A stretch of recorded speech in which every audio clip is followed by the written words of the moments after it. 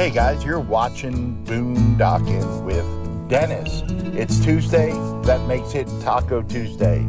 Just drive around the Big Cock, go to the drive-through at the San Juan Cantina in Aransas Pass, Texas. Grab a Mexican Coke made with real cane sugar, not corn syrup like in the States. Bacon, egg, and cheese breakfast taco. Nice salsa, it's got a little thickness to it. Lady at the window was super, super nice. Got a good smell. Look, they actually grilled the tortilla. The cheese is melted. Absolutely delicious.